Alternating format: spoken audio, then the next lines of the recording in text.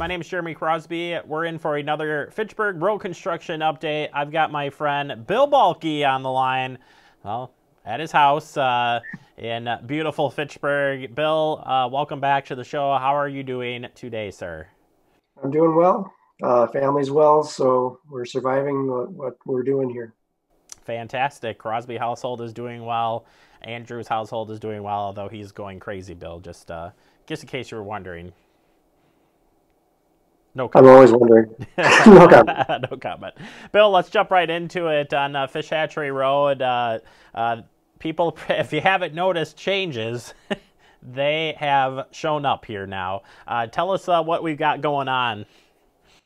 Yeah, we did our major uh, construction switch yesterday on Monday, or whatever day this is of the week. I don't know, but we did it on Monday. And uh, as you'll notice that there's there's probably a lot more traffic backups uh, where we're switching over and doing the uh, the yellow construction zone right now. And uh, we got one lane of traffic in each direction. It's open to all the businesses up there. We got driveway accesses, but uh, we do have one lane of uh, travel in each direction out there right now. as you noticed, it probably takes a good, you know, 15 to 20 minutes of extra time to get through that area during the peak times. So allow for some extra travel time uh, if you have to travel through that area. Yeah, and you'll notice that this goes all the way up to the belt line uh, uh, and and then down uh, to uh, does that go all the way up to post and even down uh, post? Actually, I could probably just go back to my map there, huh? Down to Traceway. Down to Traceway, right? Uh, yeah, we're we're uh, seeing some uh, some backups in those areas there. One thing that we did notice uh, was some of the traffic going southbound over the Beltline. Um, that the right lane needs to turn right or go straight through, and the left lane turns left.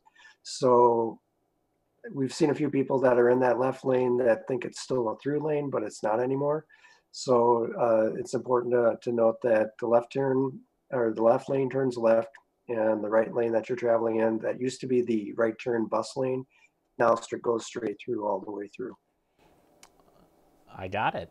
That's pretty good description there. And uh, looking up, uh, look, I'll go back over to the map here.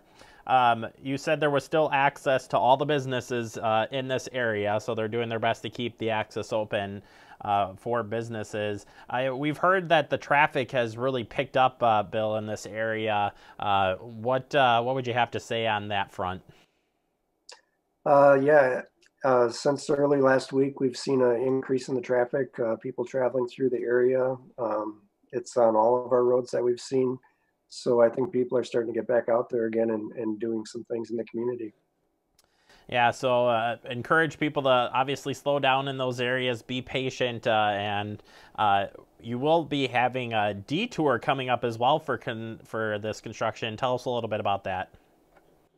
Uh, yes, on uh, Tuesday night, we're going to be uh, closing down the intersection south of Greenway Cross to do a water main crossing. So starting at 8 p.m. on the 28th through 6 6 a.m. in the morning. Uh, we're going to be closing down that part of the intersection, detouring traffic on Fish Hatchery Road, uh, Post Road to Index and Greenway Cross, and vice versa. So uh, it'll just be, hopefully, it'll be less time than that, but uh, you know, barring any uh, construction concerns or construction problems that we have out there, it might, it could last that full full time. Yeah, and like I said, uh, happening in the overnight hours here, and this uh, exhibit uh, will be put up online, and we'll try to try to make sure we get that out to everybody as well as we get uh, closer uh, to that uh, closure. Any other updates, Bill, up on the Fish Hatchery Road project? Not, yeah, it's it's we're we're going to be in this for the long haul through June, so be patient with your your travels through the area our construction workers will appreciate that. And uh, if you can stop into the businesses up there to patronize them, that would be great as well. Yeah, absolutely. And I know the times are tough right now to, you know, uh, uh, what, going and dine in at these places or, or, be going into the businesses. So just be patient. And uh, uh yeah, if you can still uh, make it up into that area, there's still access. Uh, just plan for some extra time. all right, Bill, switching over to McKee Road. What do we got for updates on that project? Uh, McKee Road, we've got uh, some construction going on on the north side between Seminole Highway and Verona Road. Essentially, well, it goes all the way up to Fitchrona Road, but um, but in the city part of things, up to Commerce Park Drive, uh, we're going to be uh, completing that construction with the trails and the path on the north side, and then uh, they're going to be switching traffic to the outside lanes and and doing some construction in the median area uh, later this week and early next week. Uh, and then uh, we're going to be looking at a closure at, of Commerce Park Drive that weekend of May 1st. So that Friday, Saturday, Sunday, we're going to be closing that uh, access off of Key Road onto Commerce Park Drive. And then there'll be a detour that's set up that goes uh, down Commerce Park Drive to Sub-Zero Parkway. Yeah, and that uh, you know, again, one of those uh, scenarios where be patient uh, as uh, that construction continues on there. Uh, what uh, improvements are happening in there, Bill, for people who aren't familiar with this? this section of roadway is going to be reconstructed to a four-lane construction. We're taking the bike lanes off of the road in this area and putting them onto a, a 10-foot wide pedestrian bike path on each side of the roadway. So uh, the, while the bikes won't be traveling on the road as much, uh, we will have those uh, pedestrian bikeways available for uh, anybody using that. Uh, we're also constructing a bridge over McKee Road at the Badger Badger State Trail. There we go. Uh, and then the off ramp. So it'll be similar to what's over at the Military Ridge Trail at McKee, so that we've got pedestrians and bikes going over McKee Road that uh, will be a lot safer for everyone.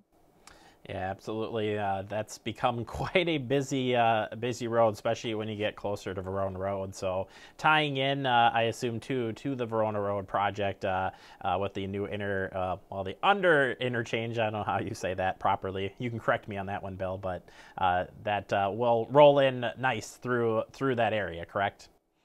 Yes, uh, everything will transition back uh, to where it needs to be, uh, travel through the area with bike lanes, off-road pedestrian facilities. So uh, we'll have a good connection all the way from the east end of Fitchburg to the west end of Fitchburg.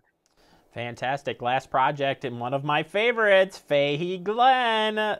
Tell us what's going on over there. Some really uh, big uh, movement over there or, or yeah. continues we've been uh, out there uh, pouring curb and gutter. They got the base course down for for putting the roadway in, so uh, they'll be putting that in. Uh, uh, we're looking at some sidewalk going in after that, and then uh, finishing up with the pavement. So it'll get done sooner than we thought before July, before July, so sometime in June, and we'll get that opened up to traffic. Fantastic. Well, Bill, uh, always appreciate uh, having you on here, uh, and I know your time is valuable, so we appreciate it. And uh, thanks for being patient as we were setting this up. A little behind-the-scenes work that Bill always has to sit through, and we appreciate it. And we'll uh, we'll be have you back on uh, next week and get some more updates. Sound good? Sounds good. Be here. All right. yeah, you have nowhere else to go, Bill. All right, that is Bill Balky. Uh, appreciate his time as always. And of course, you can head out the website, fitchburgwi.gov, and we'll keep you updated on uh, uh, any additional closures and those uh, detours coming up as well. This has been your Fitchburg Road Construction Update. We'll see you next time.